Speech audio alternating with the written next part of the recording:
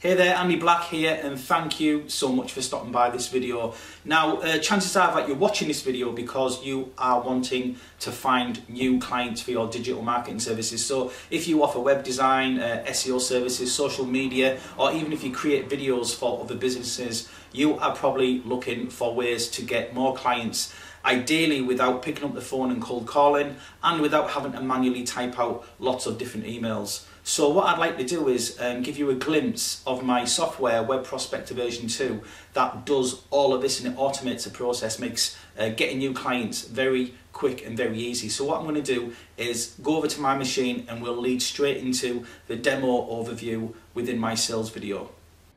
When we open the software, we simply choose the country where we would like to find new clients. We then enter our chosen niche or trade and then enter a location. This can be a town, city, region, or even a postcode or zip code. We choose a top level domain. For this example, we will choose .com. We'll enable the enhanced results so that the software can crawl and retrieve data about each business's website if I have one. We will then choose how many businesses we would like the software to retrieve. We'll select all results and then we will just click on the green Find Businesses button so that the software can start retrieving businesses and their required data and information.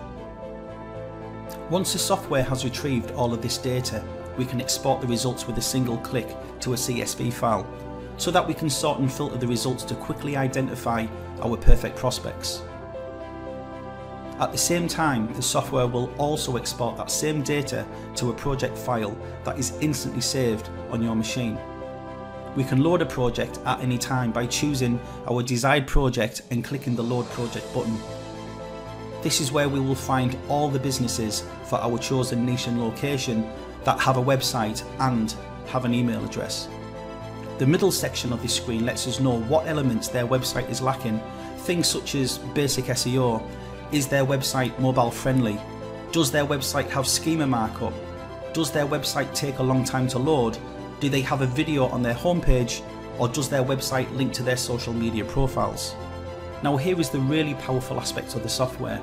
We can send any of these businesses a fully customized, personalized email that can highlight the issues the software has found for the services that you offer.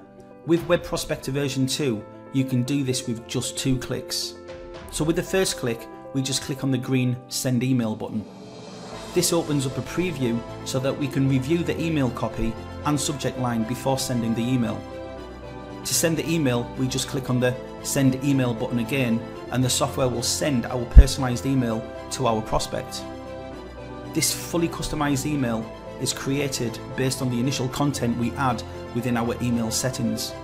We only need to add these settings once and the software will use this content and data when sending our emails.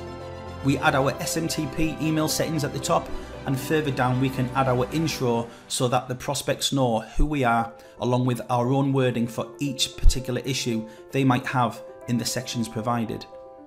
We then add our outro text which would include our call to action. Finally, we would add our sign off content which will include our name, business name, website and contact details. We can include HTML if we would like to style specific words or sentences. We can even include a number of different tags that the software will use to automatically include specific information relating to the business in question.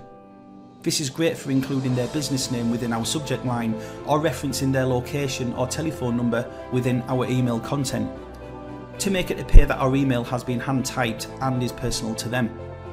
If there are any services that we do not offer, then we can simply disable them within our settings so that they will not be included within our prospect's email. After sending an email to a prospect, the project file will be updated with a date stamp and a red button to let us know that the prospect has been emailed and on what date. This makes it easy for us to manage different projects and to identify which prospects we have already reached out to and which ones we haven't. As well as the email feature that is built into the software, Web Prospectr version 2 also exports data to CSV files, allowing us to quickly sort and filter the results to narrow down the prospects to only those that require the services that we offer. These CSV files include up to 20 columns of useful data, which will tell us everything we need to know about which issues businesses have and which ones they don't. This is a great way to weed out those businesses that do not need our help and to instantly pinpoint those that do.